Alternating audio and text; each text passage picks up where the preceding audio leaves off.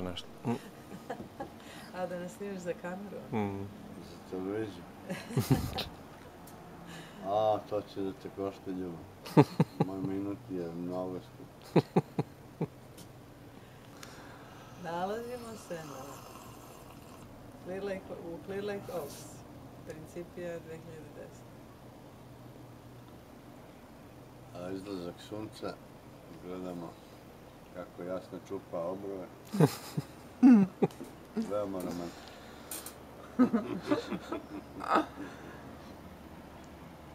O, vidi brodić.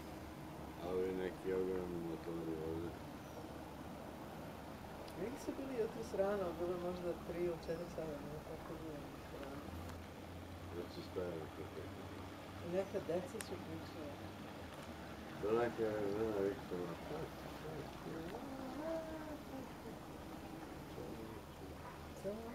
Ali oni su došli da pecaju, ja mislim.